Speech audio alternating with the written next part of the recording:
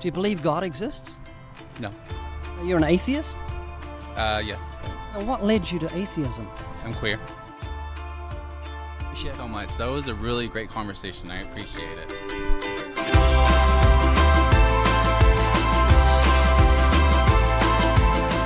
What are you doing? I'm studying tarot right now.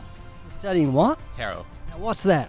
Uh, tarot is um, a very uh, old um, uh, cartomancy um, trade. Uh, people read cards, came from the gypsies, and uh, they try to um, discern either the future or people's past, fut- you know, whatever. Is it working? Um, for me, it is because what I was trying to do is um, I'm just trying to see, you know, what's deeper in my mind and the mind of others. I'm not really trying to read the future or anything. Do you think people know the future? I think people can predict it pretty well. Yeah, I think it's the difference between predicting. I mean, weather forecasters predicted. Yeah. They have a certain amount of knowledge and information, and they say, "I think this will happen," but they. Uh, many a parade has been rained upon because the weather forecasters got it wrong. And if people could really predict the future, I mean, even 10 minutes, five minutes, they go to Las Vegas and predict what's going to happen on that gambling table and make a Exactly. billions of dollars. So it's pretty hard to know the future. Um, have you ever studied biblical prophecy? No, not really. Ever studied Nostradamus? No. Nostradamus was uh, into like the darker side, and he predicted the future, um, and he got it right 70% of the time. You know why? Because he could read the signs. No, he read his Bible in secret, ripped off Bible prophecies, said they were his own. So anyone who's anyone who's ignorant of Bible prophecies thinks Nostradamus is uh, is really good. Have you ever studied the scientific facts in the Bible? Yeah, the Bible has lots of scientific facts, like it says the world hangs upon nothing. It speaks of the free float in space. It speaks of the circle of the earth, the earth circular. It speaks of quarantining. Uh, two or three thousand years before man discovered if you've got a contagious disease, you're supposed to quarantine. Um, lots of stuff like that. And then biblical prophecies. Do you know any of the signs of the end of the age? Nope. Well, it says there'll be wars, rumors of wars, there'll be earthquakes and famines and diseases. It says Jerusalem will be in the hand of non Jewish people until the times of the Gentiles are fulfilled. In other words, uh, the Jews will get Jerusalem back, and that happened in 1967. First time in 2,000 years the Jews got Jerusalem back. So, if you want a prediction of what tomorrow is about, just read the Bible. Have you ever read the Bible? Yeah. Do you know what its message is? Nope. Well, the Old Testament, God promised to destroy death. The New Testament tells us how He did it. Do you think there's an afterlife? Yes. Why are you so adamant? You were very quick to say yes. Uh, it's just what I believe. Is it based on anything? Um, I would have to think about it a lot more. Is it based on, on hope? You just love life and would hate death to be the end? I think I'm a very optimistic person, so you could say that, yeah. You're afraid of death? Uh, not particularly. I think everybody is. People who say not particularly, either proud and they don't want people to know they're vulnerable, or they haven't thought about it very deeply. But if you think about it, your life is so precious to you, and if you've got a contagious disease that led to death, you'd be saying, Oh God, I don't want to die. I don't want to die. I love life. I love the blue sky and love and laughter and music and friends and family and food and all these things that surround us. Do you believe God exists? No. You're an atheist? Uh, yes, I am. Now, what led you to atheism? I'm queer. Yeah, well, that doesn't make you an atheist. Goodness I- me. Well, it led me to it. That was your question. Why? because I'm queer and queer people have uh, been persecuted, uh, like a lot of other people. Um, when I was uh, growing up and I was in high school, um, reading about the Holocaust, because that's what you know our curriculum teaches us in, in grade school. Um, I thought about how horrible you know some of these things were, and then I thought about the concept of hell, which is an afterlife concept, um, and something I choose not to believe in sometimes. Um, I just thought about, you know, how some entity so powerful, you know, is supposed to love the people that they created. And, you know, you see all the tragedies and terrible crises that happen on Earth throughout history and even, you know, the things that we're living through right now.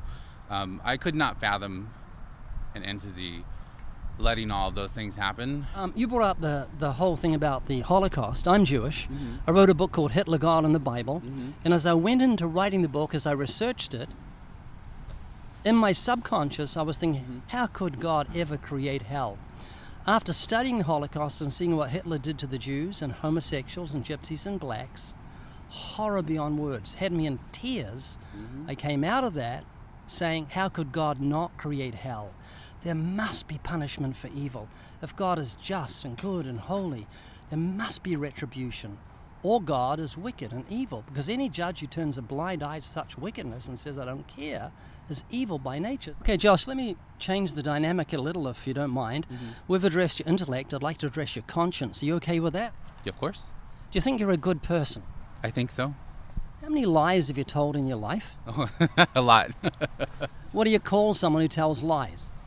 Uh, you call him a liar? If So- being really uh, basic. Have you ever stolen something in your whole life, even if it's small, irrespective of its value? I plead the fifth on that one. Have you ever used God's name in vain? Uh, we'll plead the fifth on that one too. Jesus said, if you look with lust, you commit adultery in your heart. Have you ever looked with lust? I have no problem saying that I uh, have been lusty in my life. The reason we die is because we've sinned against God. The Bible says the wages of sin is death. In other words, sin is so serious to God, He's paying you in death for your sins. Like a judge has a criminal in front of him that's raped three girls and then slit their throats. The judge says you've earned the death sentence. This is your wages. This is what's due to you. Or life imprisonment. He said you've earned punishment. And God says our sin is so serious, He's given us the death sentence. We're waiting around to die because we're on death row because God said the soul that sins, it shall die. The proof God is serious about sin will be our death. And then after death, the Bible says damnation if you die in your sins because God's going to judge you not from man's perspective. We all think we're good, but from His perspective, which is one of absolute moral perfection, what the Bible calls holiness. Go on. Sorry. I'm. Now tell me, what did God do for guilty sinners so we wouldn't have to go to hell? Do you know? I'll go for it. Do you tell me. Yeah. Well, the Ten Commandments are called the moral law. You and I broke the law. Jesus came and paid the fine. That's what happened on the cross. Do you know what his last words were just before he died? There were three words. Please. He said, It is finished. Now, that's a weird thing to say when you're dying. Other, some people try and say something profound or philosophical or just, uh, but he said, he said, It is finished. In other words, the debt has been paid. We broke the law, he paid the fine. Josh, if you're in court and someone pays your fine, a judge can let you go even though you're guilty. He can say, Joshua, there's a stack of speeding fines here. This is deadly serious, but someone's paid him. You're free to go. And he can do that which is legal and right and just. And you and I are guilty before God. We've violated his law. We can plead the fifth, but all of us are guilty. And if you, if you hate someone, the Bible says you're a murderer in your heart. As far as God is concerned, that's how high his standard is. We're under his wrath, under the death sentence, heading for hell, but God paid the fine in Christ so that justice could be done and mercy could be extended. Jesus died on the cross. That means God can freely let you live forever, not because you're good, but because He's good and kind and rich in mercy. When Jesus rose from the dead, He defeated death. I notice on your book there you've got a skull. It's usually depicting death. Death is called the Grim Reaper. Well, Jesus took the sickle out of the hand of the Grim Reaper. Death lost its sting when Jesus rose from the dead, mm-hmm. and now God offers you everlasting life as a free gift if you'll simply repent of all sin. That means lying, stealing, lust, homosexuality, adultery, fornication, whatever you know, the Bible says God is. Is homosexuality a sin? Is that where we're going with this? No, but I had to mention it to you to be faithful because I love you, I care about you, and I'm not going to lie to you because I don't want to offend you. The Bible makes it very clear in the book of Well, Corinthians. I mean, feel free to be honest here. I mean, if that's your belief that it's a sin, please. I mean, I think that that's really important to lay out on the table. Yeah. Homosexuals say I was born with these desires, I had no choice. Well, I mm. was born with a desire to commit adultery. When I looked at the lady next door from a little kid, she was gorgeous. I'd love to get a bed with her, but it doesn't make it right. Do not be deceived, neither uh, thieves, liars, fornicators, adulterers, homosexuals will inherit the kingdom of God. 1 Corinthians chapter 6 verse uh, 9 and 10. So, anyway, back to what I was saying. If you'll repent of all sin, that which you know is offensive to God, God says He'll not only forgive you, Straight people aren't offensive to God. They are, absolutely. They're under the death Because sentence. If I've looked with lust, as uh-huh. far as God's concerned, I've committed adultery in my heart. Jesus said that on the Sermon on the Mount. Mm. I'm a liar and a thief and a, and a fornicator. I've committed all those sins. I'm as guilty as the rest. So homosexuality isn't being singled out as a particular sin, it's just in the list of sins. Yes, it is because you're talking about, you know, fornication, blah blah blah. See, we're not talking about the same thing. when you talk about homosexuality, you're always talking about that compared to something else that isn't an actual relationship. Um, you know, simple fornication is not a relationship. Adultery is not a relationship. The, these are all things that stand alone on their own as sins, right? You're not comparing a queer relationship to a straight relationship the right way. All of us have sinned. We've all we all have God's wrath abiding upon us. We're under his death sentence, but God offers everlasting life to the whole of humanity. Adulterers, fornicators, and homosexuals, liars, thieves. lived that long yet? Yes. Now let me finish. I'm trying to just give you. Who's lived that long yet? This, this M- Methuselah has lived for 969. Methuselah? I'm I'm really excited to look that up. I'm gonna I'm gonna research that. Thank you for teaching me that. If you'll simply repent of all sin and trust in Jesus for your salvation, God promises to more than commute your death sentence. You know what the difference between a commutation and a pardon is? Yes. Yeah, well, God doesn't just commute your sins.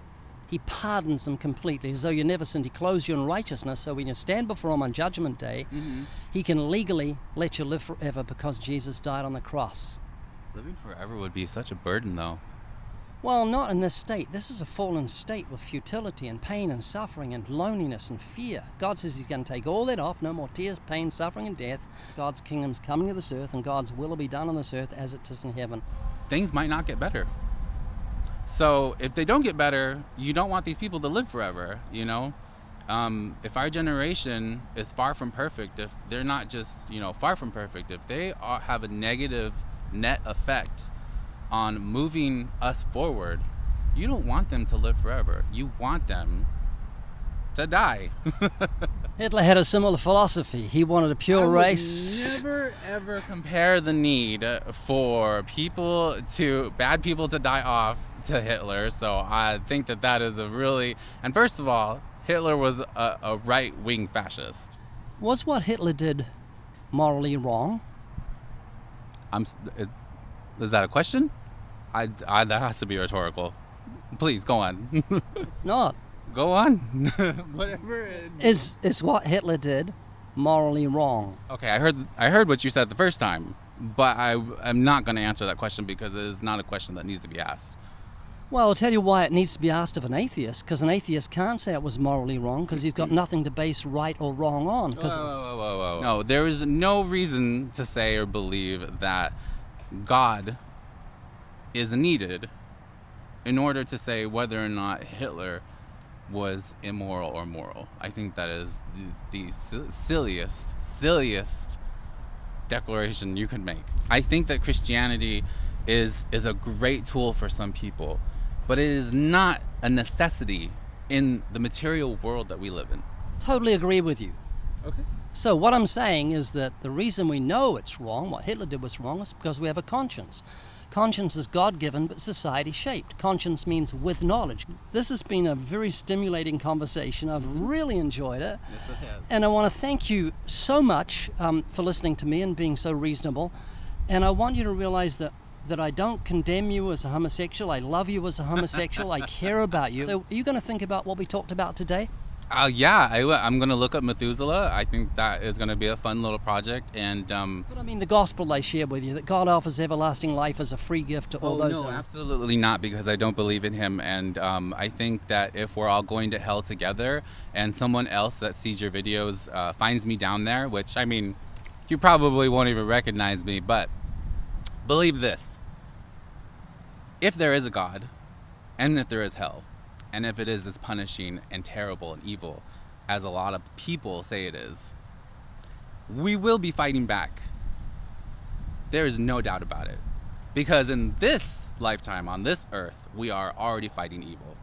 And if we fight evil here, well, God, we're going to fight evil down there too. So we'll see you there. As I said, I love you, and the thought of you ending up in hell breaks my heart. It really does.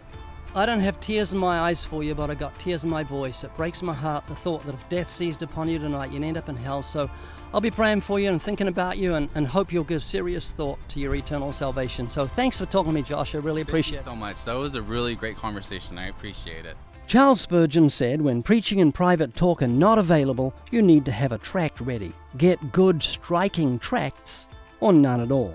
And that's what we've striven to produce tracks that get read. Let me show you some of our eye catching gospel tracts. The This is the curved illusion tract, which looks longer, the red or the blue. The blue or the red, they're exactly the same size. It has the gospel on the back. Something to think about. Very cute little format presenting the gospel. You can always make a joke about here's a picture of me when I was younger. Smart card, place your thumb firmly on the box for 15 seconds. If you're a good person, it will turn a bright green. Note it must be for exactly 15 seconds. Actually, nothing happens and explains, oh, nobody's good on the back. A gift for you, you can place uh, in here and here a $1 bill, $2 bill, $5 bill, and just give it as a gift to a non Christian with the gospel. Here's a uh, ticket to heaven. It says if you don't need a ticket to heaven, tear this up if you can. This is unterrible paper. Here's our trillion dollar bill, our Einstein bill, a very popular million dollar bill, our Ten Commandment coin. It has the Ten Commandments on one side and the gospel on the back.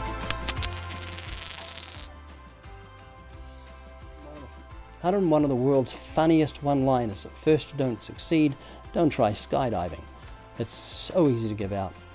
Science confirms the Bible, a good person tract, very, very popular. Our uh, wallet tract, to give this out, all you do is toss it down, people pick it up. How good is your brain? How many holes are in this t shirt? Well, looks like two. There's actually eight.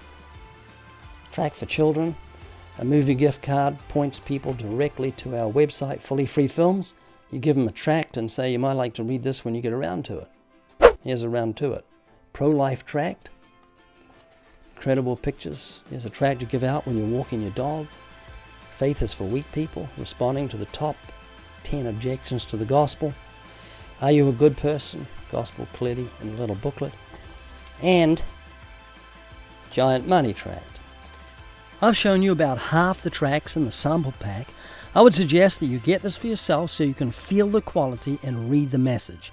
It's available at livingwaters.com. Thank you for your concern for the lost.